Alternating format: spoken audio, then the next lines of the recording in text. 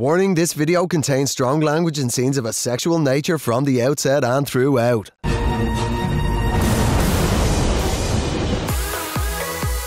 My name is Joshua Ritchie, 22, I'm from Bolton, and one thing you need to know about me is that I'm a little fucker. The three best things about me is that I'm kind, Only reason why I fucked you is because you ma- my mate gave me 50 quid. I think of other people, Alex, bro, I'm gonna have to send you home, mate. Sorry, Alex, you have to go home. Is that a little tear I see?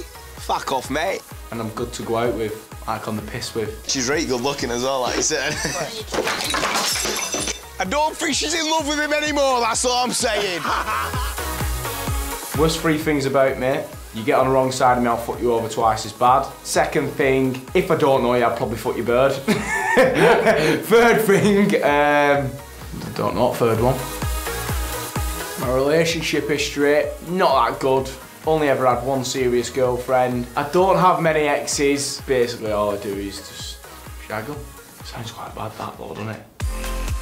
My opening chat up line is, what's your name? Then crack a few jokes and then once you're laughing, ask them for a go home, Bob's your uncle. Three sexy secrets about myself is, I've shagged a bird in Selfridges um, changing rooms when I went trying clothes on. I have had a foursome with three birds and another one. I've had a threesome in back of my mate's car with him, that's probably about it. Biggest lie I've ever told is telling a girl that I slept with 27 girls. It was definitely a lie. My advice to men is if you're gonna try and wife a girl off, always tell her that you're sleeping with less people than you slept with.